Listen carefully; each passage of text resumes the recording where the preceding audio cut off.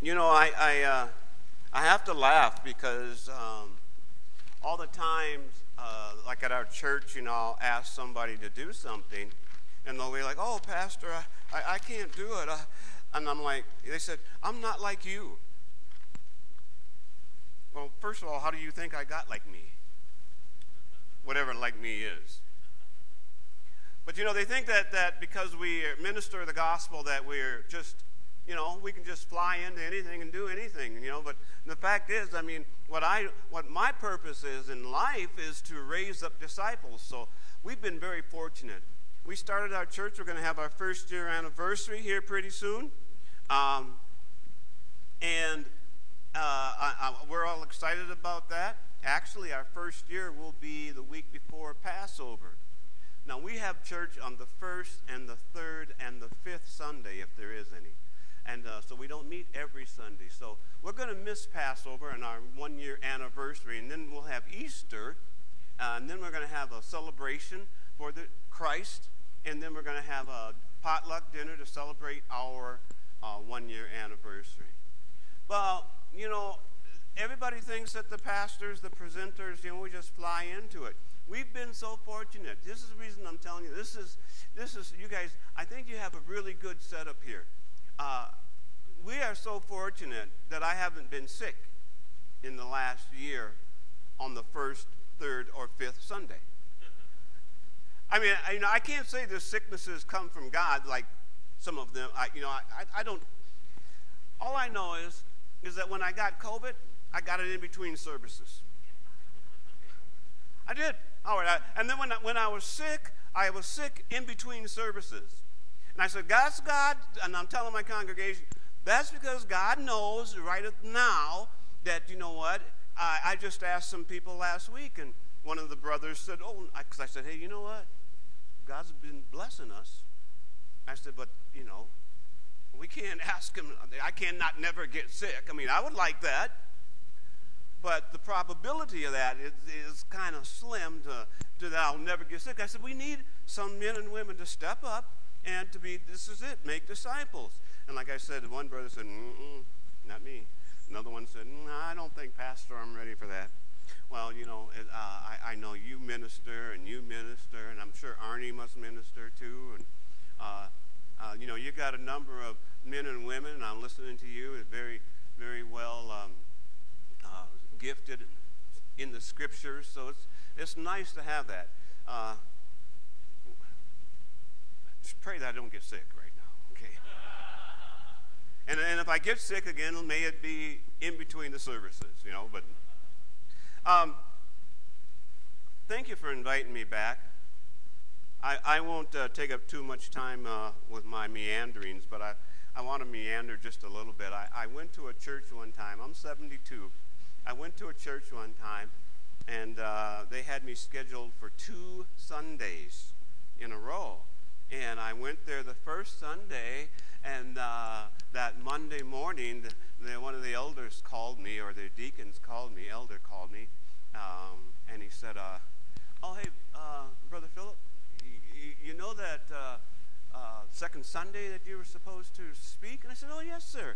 He said, "Forget about it." I said, What? He says, uh, That's okay. We don't think you're a fit. So when you invited me back, I thought, Hallelujah.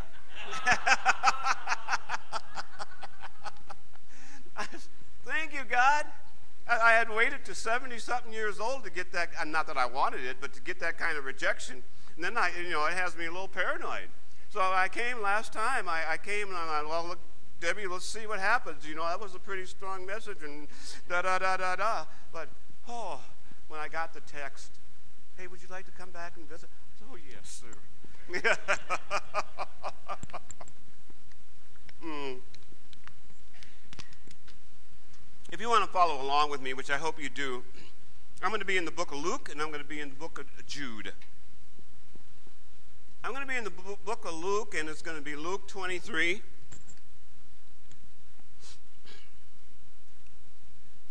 And you know, this is our, our, our uh, Easter series uh, season, so I think a lot of attention is going to go, be going to that. But first, let's just read the scriptures.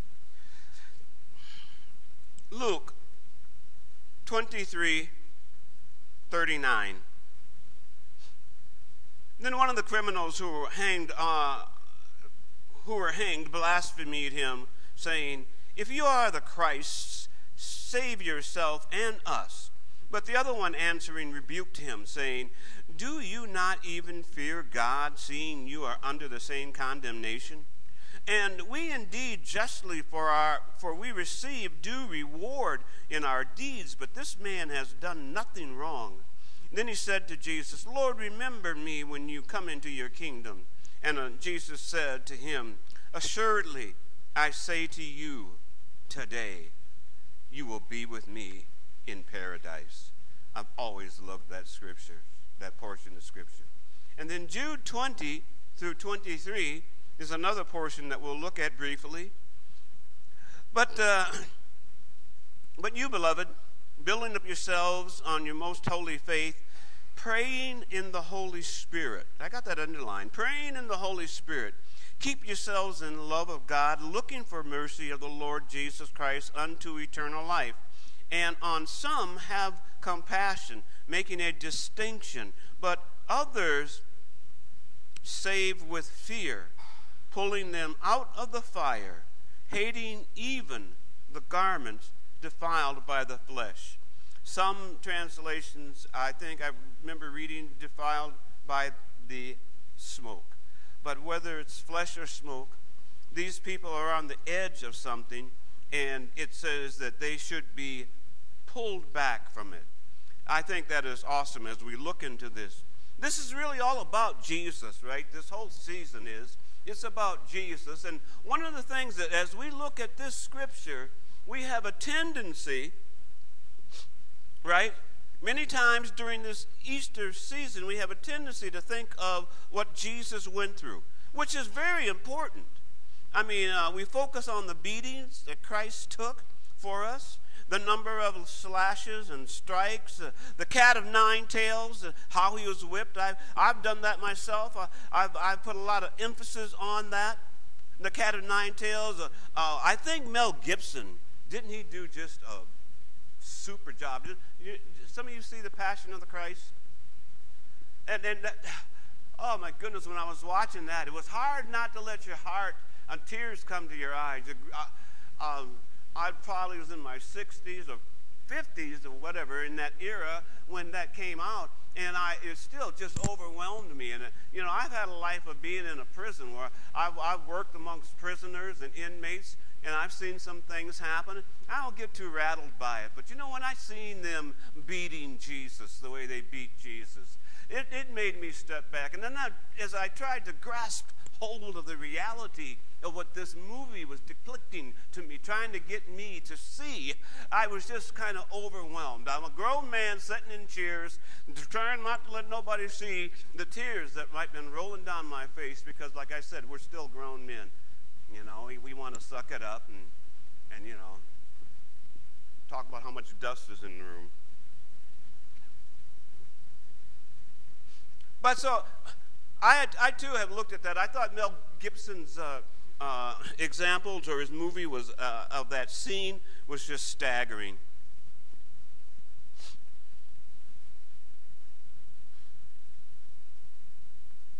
I know as we approach his death and resurrection, there'll be sermons all around uh, around this world talking about how he descended into hell, which is important, obviously.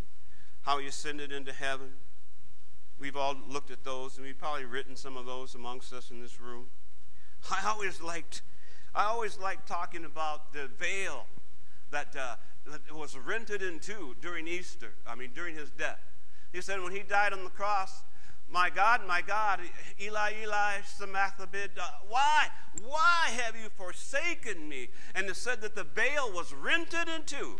And I mean, it's the power of God. You know, they used to talk about those things being woven out of this special wool. God, don't let me overdo this. Like, but I, and if I remember right, horses they couldn't pull this apart. It was so strong. But when Jesus Christ, as we know as believers, when Jesus Christ died on that cross, His blood covered the multitude of sins for this world. Bam! That veil was rented in half. And as we know through Jesus Christ, we have access into the Holy of Holies. Mm. I mean, that just always just meant something to me, Steve. I just always loved that. And then he's, and then I'm, I'm going down a rabbit hole. Excuse me, I'm going off on a topic. Then he says in Hebrews 6:19, "This hope that I have in Christ locks me in where? Anybody in the scriptures know what I'm saying? Where does that hope in Christ lock you in? Hebrews 6:19. He says it secures. Brother, would you look that up? Say, I'm, I'm not going to give you the answer. I'm going to give you it right out of the Word of God. That way you know that I'm not just ad libbing and that I'm not stretching and I'm not being the evangelist or, you know, uh, to bring that word to you. What is it? Hebrews, I believe it's 619.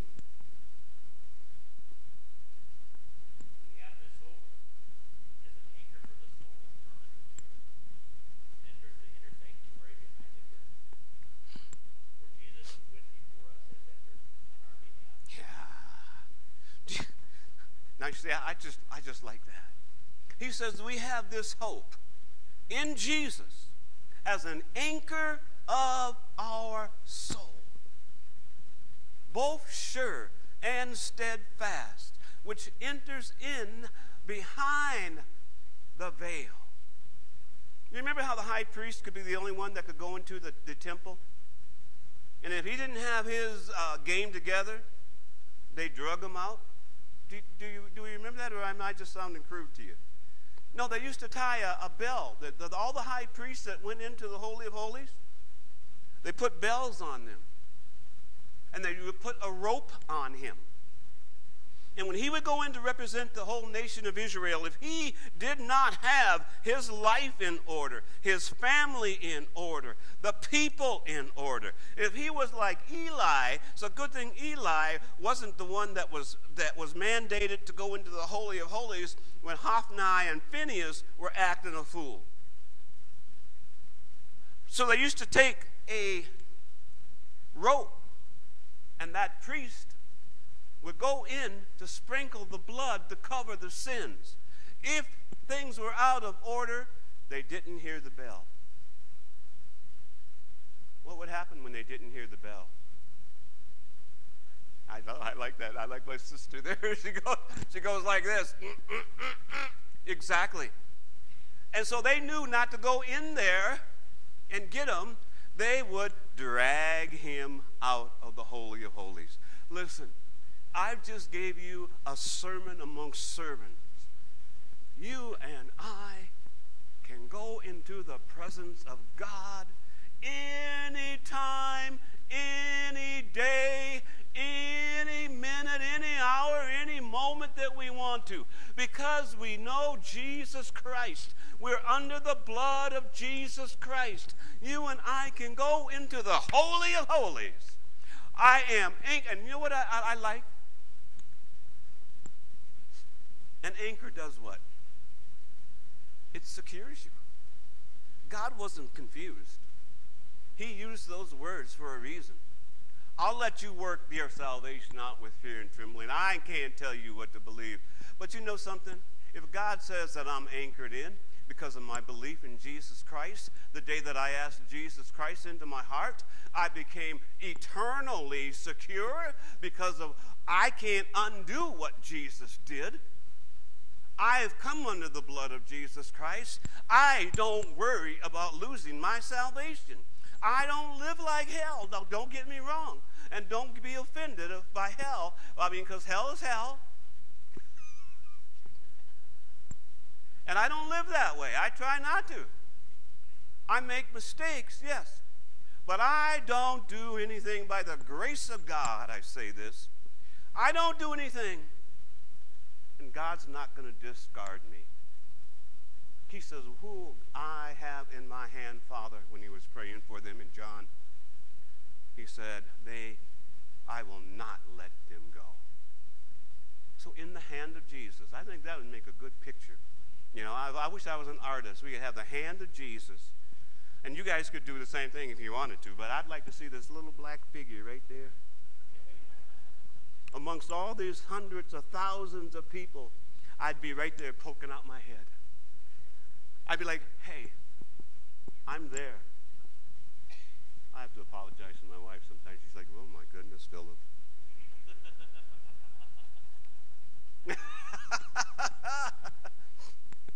but really, and you know what I hope? I hope to see you and Kurt right over there. I'll be, oh, hey, hi. We're right in the hand of God. I will not lose my salvation. I, that's me, and again, I won't, I won't uh, uh, labor that because that's not what I'm here to labor.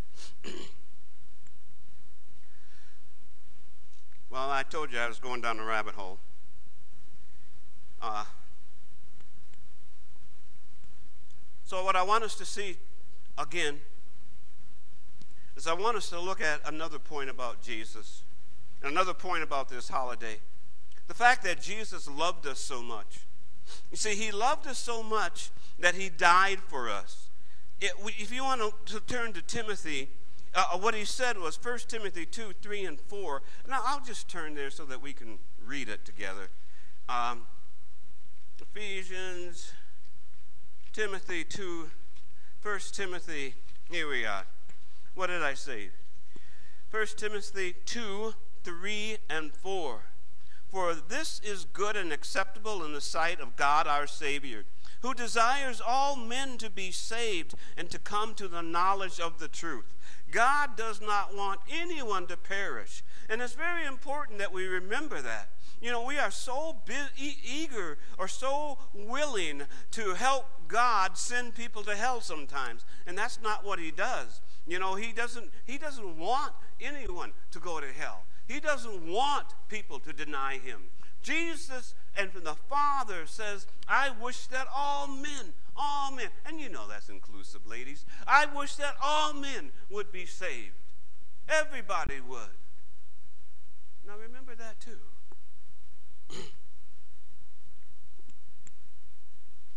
so here we see him in this aspect. This is another aspect of this crucifixion that sometimes we don't look at.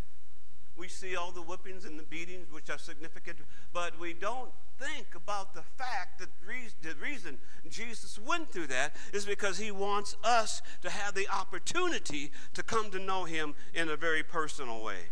And Jesus, as an example, shows us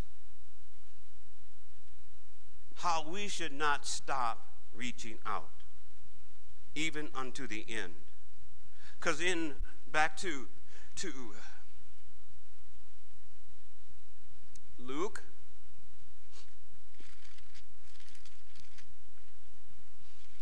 uh, back to 23. Here it is. Verse 43. And Jesus said to him, Well, today today, he said, uh, today, Jesus wants everyone to be saved today that, that can be saved. And, you know, I'm, I, i am speaking to the choir, I hope. I hope that everybody here knows Christ as their personal Savior. I hope that everybody here is solidified, solid, not worrying about losing their salvation. That everybody here knows Christ in a personal way. And you know that your soul is locked in behind the Holy of Holies. This is so, and when I say I'm speaking to the choir, you know what I mean. But there's a reason that we're here today. There's a reason that we're in the choir seat.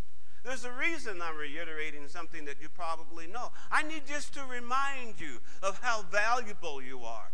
Jesus Christ, the Son of God, went to the cross so that you would have the opportunity to know him in a personal way. Fortunately for all of us in here, we know Christ as our Lord and Savior. So now he went to the cross. We have been saved, and now there's something else for us. You say, Pastor, what is that? I'm not telling you. Yet.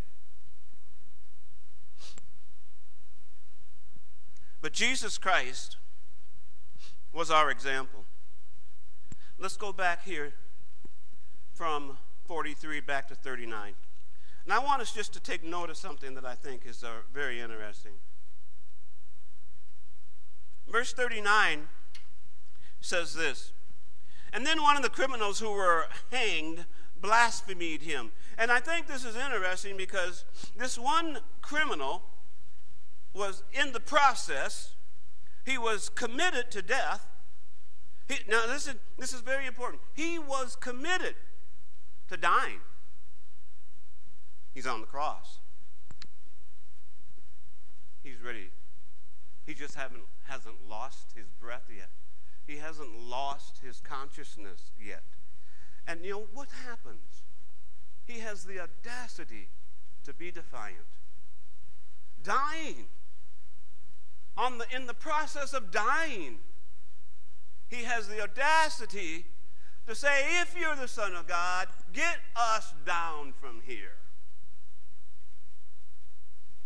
You know, if I'd have been Jesus, I would have went, yeah, yeah, yeah.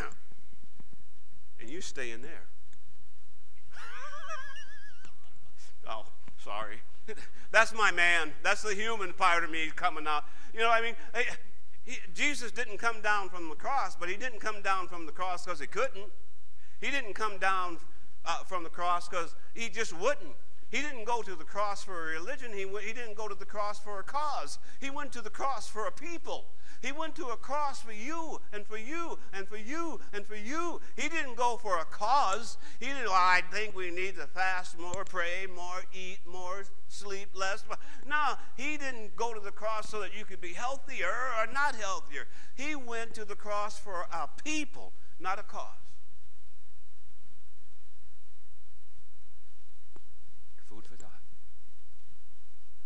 He went to the cross for you. So, as we look at this, here's this, this I almost call him an inmate. Here's this thief who is being defiant and telling Jesus come down from the cross. And Jesus, uh, you know, paid him no attention, obviously. He was on a mission. Like I said, he wasn't, it wasn't a cause. But then it says this. It's just like, and then he blasphemed. I looked up the word blasphemy. Where is that at? I looked up the word blasphemy. The act of offense of, or, or offense of speaking sacrilegiously about God or about a sacred thing. He blasphemed me. He got snotty nosed defiant with God. I, I, isn't it amazing? I think, please hear me correctly,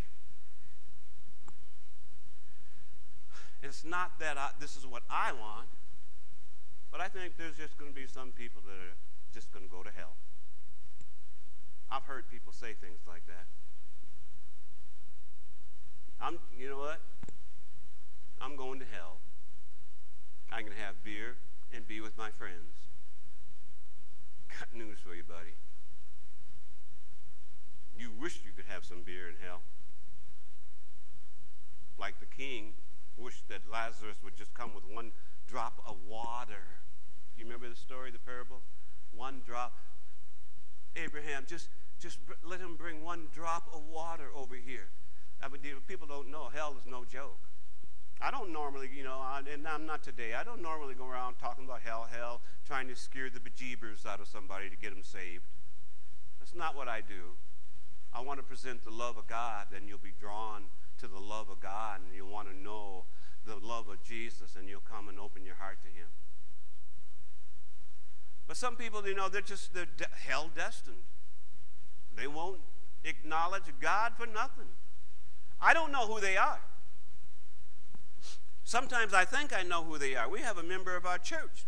Well, I call him a member. He comes to our Bible study for sure. But uh, and he said he was a devil worshiper. He said, I worship the devil. He said, the way that, that, that we praise and love God now, he said, I had that same love for Satan. I just, when I hear him say that, I just kind of like, you know, how could you? Ooh.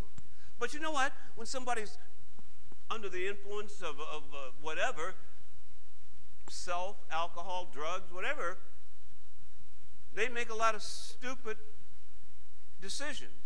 And you know and I know Satan's right there to encourage stupidity, isn't he?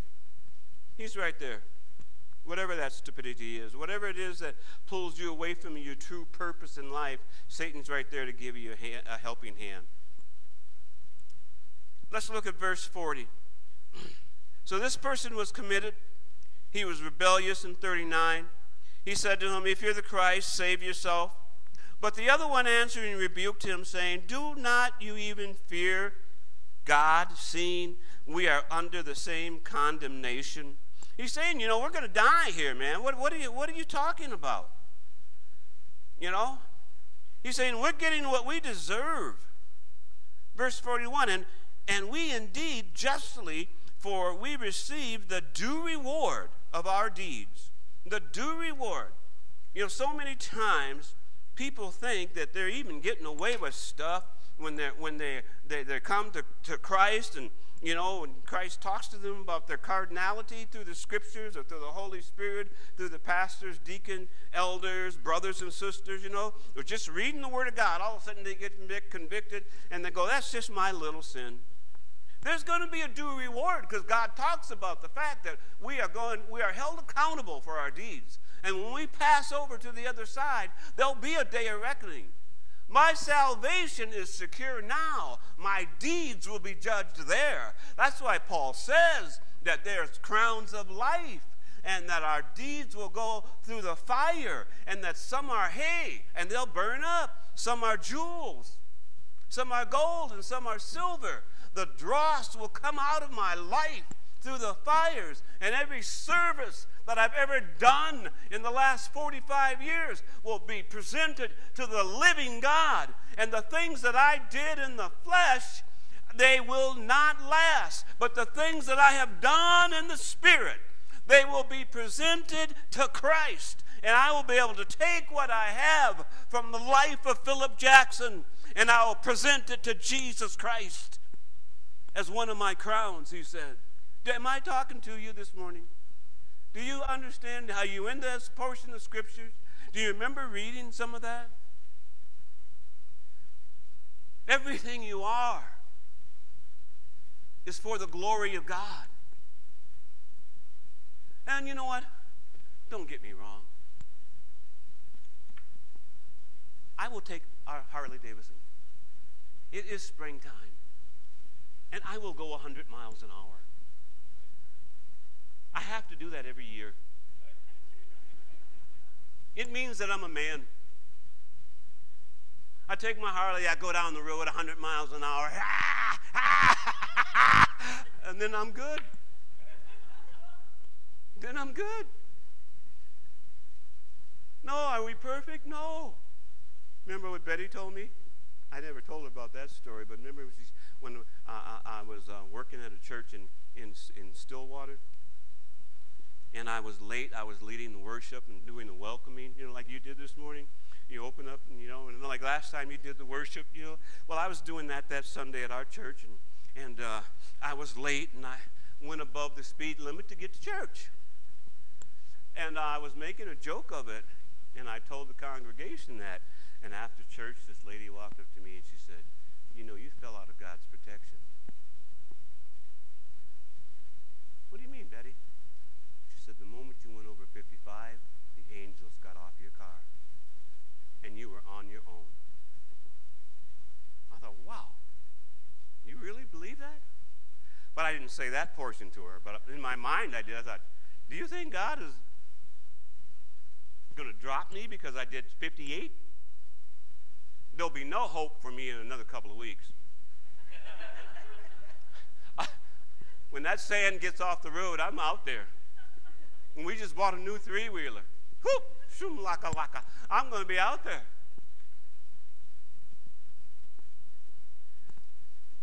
But she believed that. Let me move on. So, verse 42, I see, and he indeed justly, they're getting that due reward. For this man has done nothing. I want to take you to a different little setting now. We're still talking about this Easter. We're still talking about the crucifixion. He says, But this man, this one thief, he says, This man has not done anything. And then verse, excuse me, 42. Then he said to Jesus, Lord, remember me. When I was reading this, and even this morning when I was rereading it and writing it, and I said, that man had a Lord come to meet, come, Lord, a God moment. See, he addressed God as God. This man, he didn't even address God as God. Let me thank you, Holy Spirit. I got to back up. He was talking about Jesus, but he looked at the other thief and he said, Don't you even fear God? But then, when he looked at Jesus, he had a Lord moment. His next word was, Lord, remember me. Who else had a Lord moment? Acts 9, verse 5.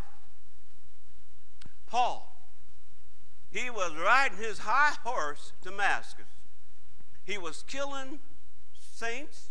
He had just got through being a witness to the death of Stephen, holding the coats of those who stoned him, and he was crucifying the church. And Jesus stopped him on the road to Damascus, his high and mighty self. With his letter of importance, he's going to the Roman or going to the synagogue. He's going to tell them what he's going to do to the Christians.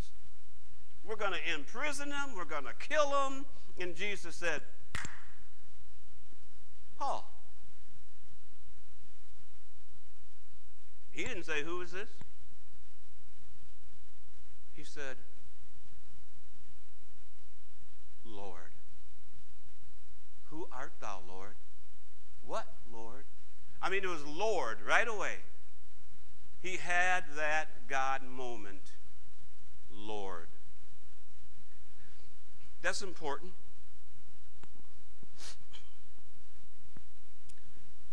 Paul had that moment, Lord. Let's go back to verse 43. And Jesus said unto them, Today you will be with me in paradise. Now, if we left it right there, wouldn't that have made a nice sermon for the day? To be uplifted, to be encouraged. I got 10 minutes left. Well, I didn't know I was going to use this much, this much time. Uh, uh, and that would make a good sermon, but I, I can't stop there right now. I got to take you someplace else. Just, just bear with me for a minute. You know, I got to take you to a place he wants us to pick up uh, uh, at the cross also. I mean, he wants us. Let me see if I can read this. Jesus was an example for us. Now, what does an example do? It sets an example. I mean, Jesus is our example. Now, what do we see Jesus doing? Verse 23 uh, up here, but the otherwise, the same pulling. Oh, no, no, no, no, no. Let, let, me, let me take you to Jude. You turn to Jude. While you're turning to Jude, I'm going to turn to Jude too.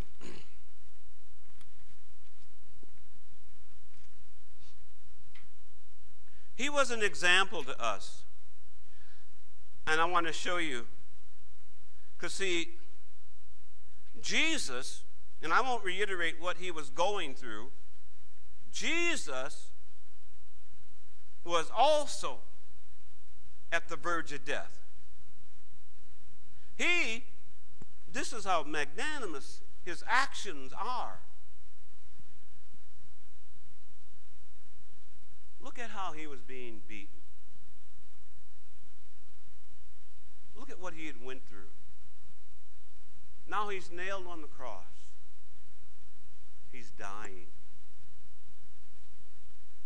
How close to death is he?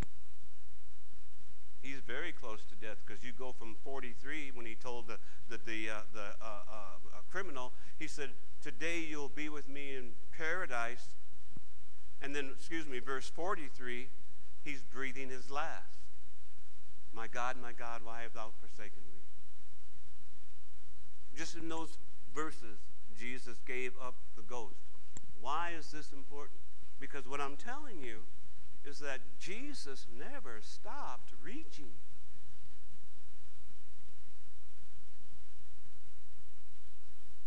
He's covered with blood. He's been beaten severely. His flesh is hanging from him, exposing bones. And he's got a crown of thorns. He's half naked. And he's dying. And he never stopped reaching. He never, oh, he, he never lost his vision of reaching mankind. And he set an example. And let's look at this quickly. Because I do want to be aware of our time. Jude 20 reads like this. And we've read this, but you, beloved, building yourselves up on the most holy faith, praying in the Holy Spirit. Keep yourselves in love of God, looking for the mercy of our Lord Jesus Christ unto eternal life, and have some and on some have compassion, making a distinction, but to others save with fear, pulling them out of the fire, hating even the garments defiled by the flesh. Now, as we read this the second time for this day, is there a different viewpoint on it now that you see what Jesus did? Our example that we have to, to our last breath. Check this out we have to reach down. There are people that we don't know are going to be saved. There are people that are on the edge. Even, look at that. Did you get that picture? He said, even reaching down, grabbing them, and having them smell like hell. Hmm. Hmm. They have the smell of the world on them.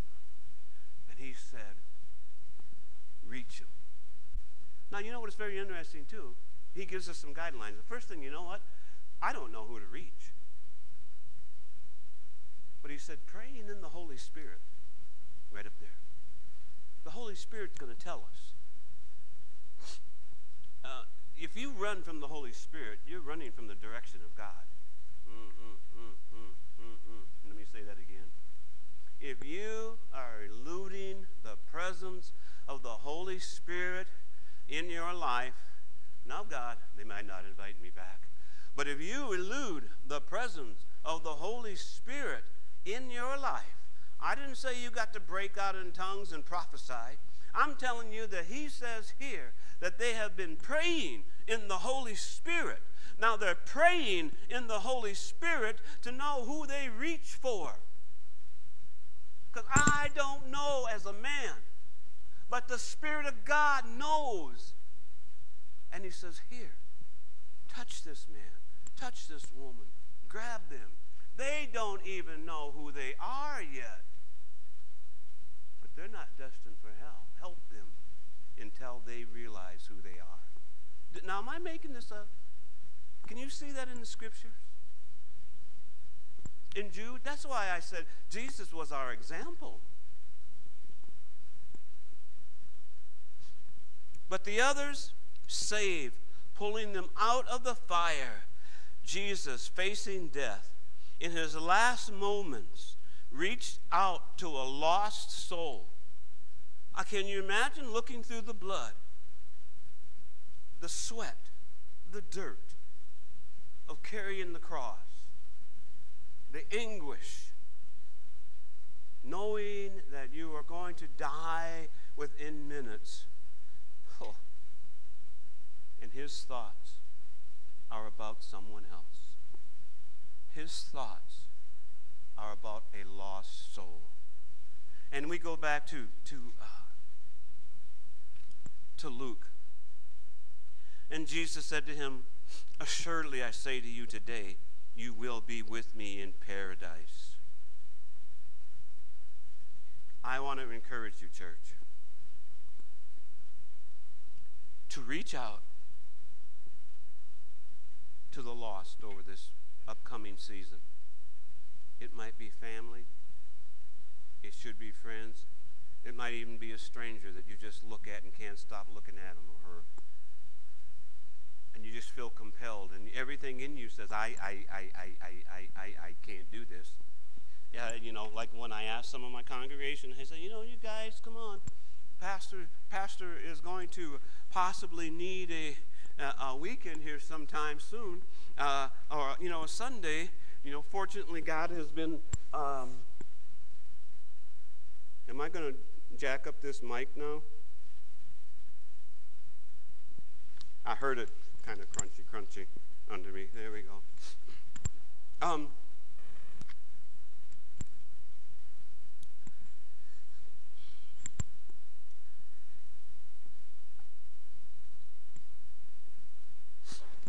you got to know that you are the person that God's going to use. That you are the person that He keeps extending to someone else. You are His messenger. And, and you don't know who you're going to reach. But the Holy Spirit knows. You're praying in the Holy Spirit. You mean the helper? He'll come, the helper. And Jesus said, I'm going to send you a helper. You know, I felt since the Holy Spirit since I've been in this room. And, and, and uh, you know, I haven't broken out in warts. I haven't ran up and down the aisle. I haven't got to wailing in tongues. And uh, no, it's just, you know, you sense that, ex- you sense the power of God. You sense something. You know, it's, it, I, I don't know. Do you understand? Do you, uh, do you follow me? You, ever, you, you know the Holy Spirit, some of you. You, you sense it, you feel it. Sometimes you're like, well, is that the air conditioning? No, that, that is the move of God. He's moving around you. All right.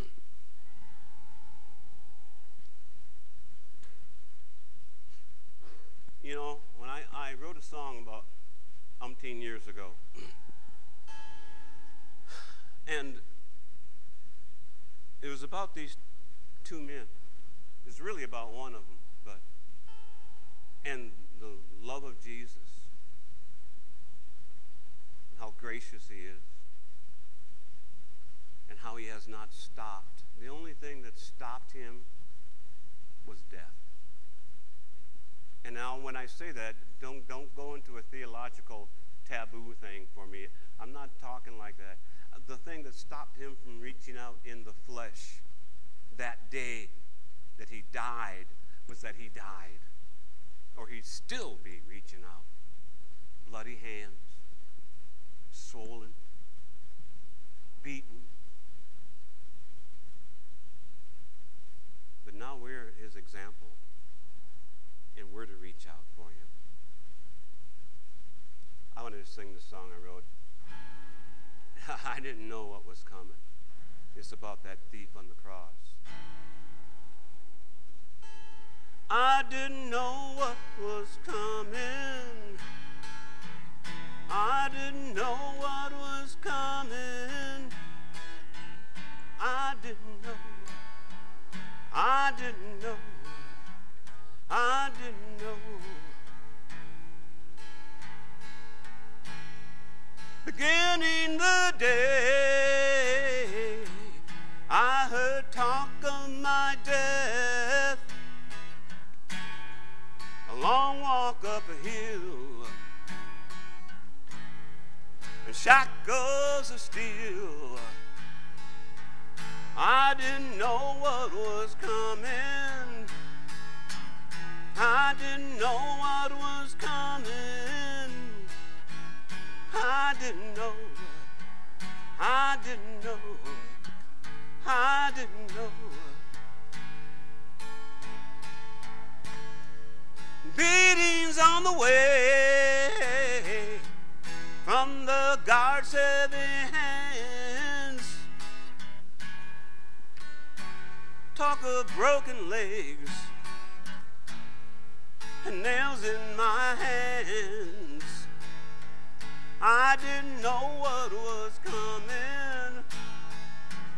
I didn't know what was coming. I didn't know. I didn't know. I didn't know. When I looked in his eyes and I've seen the light, a place I'll call home, and mercies I've never known. I had not seen this coming. I had not seen this coming. I didn't know. I didn't know. I didn't know. Sweet rose of Sharon and the streets of gold. Loved ones pointing the way to God's glorious throne. I had not seen this coming, no, no, no, no. I had not seen heaven coming. I didn't know, I didn't know, I didn't know. So if you're like that thief on the cross, you got up thinking that your life was a total loss. Continue to look at Jesus Christ because he's the author of your eternal life. I had not seen heaven coming, no, no, no, no. I had not seen heaven coming. I didn't know, I didn't know, I didn't know, I didn't know, no. I had not seen heaven coming, no, no, no, no. I had not seen heaven coming. I didn't know, I didn't know, I didn't know, I didn't know.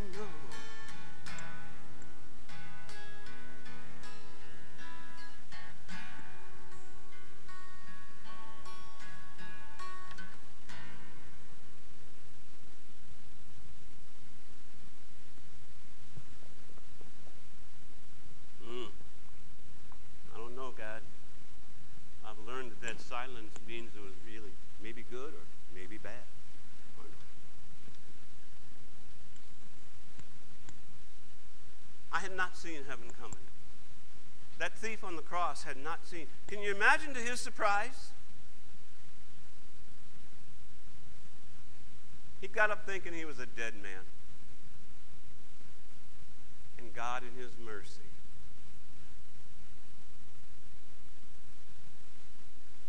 offered him eternal life. Please, in these ugly days that we live in, in the hardship that we go through, I want to encourage you. Don't give up on yourself and don't give up on people. Some of them think they're dead already. And so they think that they'll just live like hell because they're dead. But like those men that we've seen in Job, at jo- Jude, excuse me, when God has sent you, when he sent you, when everything that we see and think says no, he says go, no, go. We had a testimony just last week at church. I'm going to turn this off. Wow. Can I turn this off? Well, I don't need to turn it off. I'll just make a little noise. Uh, we had a testimony last week at church. Um, a lady asked if she could share something, and I said absolutely, because I trust her. I know that she's not a you know airhead. And uh, uh, did I just say that out loud? she's not a threat.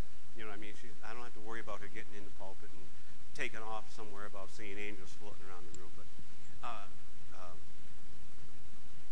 I said, sure. And she, she came up and she shared how her brother who was sick and he's back home in hospice. Uh, this is just, what, a week and a half ago? Well, yeah, because we had church last Sunday. Uh, that prior week, um, someone went over there and gave them like a little medallion, Jesus first thing, and, and uh, talked with them about Jesus. And then her brother died the next day. He accepted Christ that day, not knowing he was going to die the next day. And I've had that happen to me too. A week later, after sharing the gospel, and it's not me sharing the gospel, but a week after I'd shared the gospel with this individual, they went over to the other side. And I've known that to happen a week, a day, six months down the road. They went to the other side. Be encouraged, church. We don't know who those people are. And sometimes they don't even know it. And this is the important thing. They might resist you. I grab Debbie. They might resist you all, they might be dangling around the edge of the pit. You know, when, when, when, when I wrote, uh, uh, read that portion of Scripture and I, I visualize it, I, you know, he said, pull them from the edge. Pull them because their clothes even smell. I, I, I see them dangling around the pit, and we're supposed to walk over there and pull them into everlasting life. Who? The ones that the Holy Spirit has been guiding us to? Because I don't know who. Don't give up on the Holy Spirit. He is the third person in the triune God, and Jesus said, I will send you a helper. Don't give up on yourself. You are that instrument for Christ, and don't give up on that third party person, the one he's sending you to. Quickly. Does everybody here know Christ as a personal Savior? I hope so. I hope you know Jesus, that he's in your heart, because there's work for us to do. There's work for you to do. So if if, if you know, if you're doubting in your heart, I, I got a feeling maybe we're not, you know, uh, everyone here knows Christ. But if, if you have a thought that, you know, I don't know if I'm saved, let's pray before we leave. I'll linger with Howard and Steve. Let's pray. Brother, I think you're going to close this up. Okay, that's what I was going to do. Uh, let's pray. Father, we love you. That's the first and foremost. And then we acknowledge you, Lord God. We thank you for the mission that you put before us. And Lord, let me back up even from that. Let me thank Jesus. Thank you, Jesus, for what you've done for us. That in not a moment, but in a lifetime of need on this earth, you never stopped reaching for mankind. Thank you, Lord God. We love you today. We bend our necks to you today. We ask you to visit our house, our souls. We thank you that we're locked in to your presence. We love you. I guess that's all I can say, Jesus. We love you. We love you so much, and we're so thankful. And please, send us send us.